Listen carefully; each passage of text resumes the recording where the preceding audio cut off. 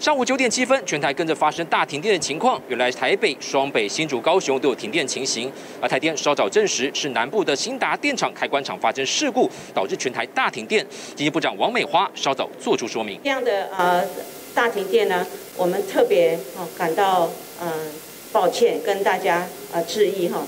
那造成特别是南部哈非常的不方便哈，特别啊感到深深的歉意。那呃这样的一个停电呢？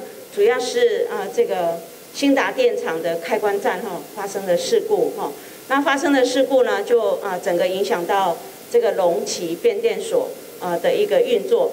那因为龙旗这个是呃供这个对南部的整个电厂呃有关系。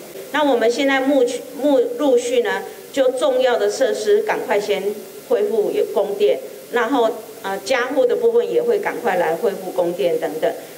台电解释呢，因为全台电网相连，电网频率都维持在六十，而南部电力供需失衡的情况下，瞬间少掉了一千多万千瓦的电力，北部、中部被迫低频卸载来平衡电网，导致停电。因为呃第一时间还没有完全了解这个细节，不过他听说是嘣了一声啦，哦，但是大爆炸应该是不是？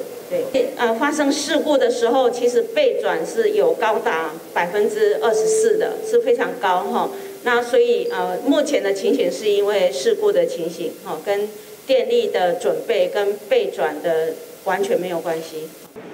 这起停电呢，总计影响全台湾至少超过五百万用户。而金部长王美花表示呢，北部的用电会在中午前就会恢复，而南部地区呢，中午过后也会陆续上线。不过整体原因还需要再进一步查明。以上是新唐人亚太电视沈维彤、王冠霖在台湾台北的采访报道。